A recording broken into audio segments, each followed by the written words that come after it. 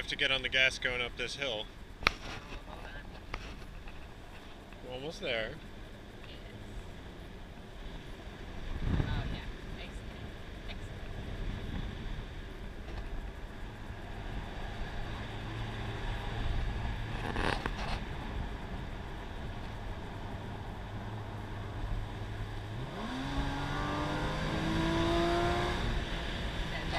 Yes.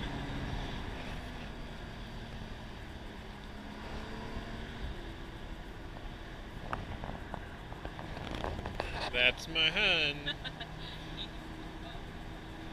Oh, I like this part. Nice tight corner.